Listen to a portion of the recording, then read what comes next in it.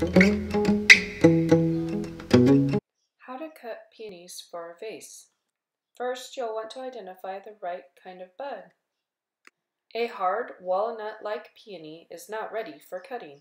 A peony ready for cutting will have the texture of a marshmallow, soft on the outside and a little firm on the inside. Watch closely. This peony is just a day past prime cutting time. Use bleach to clean your pruners before cutting peony blossoms. Make sure to leave plenty of foliage beneath your peony stem when cutting. Fill a clean jar halfway up and add flower food. Enjoy your peony blossoms.